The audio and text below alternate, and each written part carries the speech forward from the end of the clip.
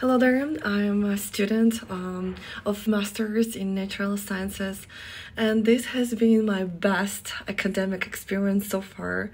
I have studied in traditional education system all my life, and you know, I was quite skeptic while enrolling in an online university. However, ever since I have started my education here, it's been super easy and self paced.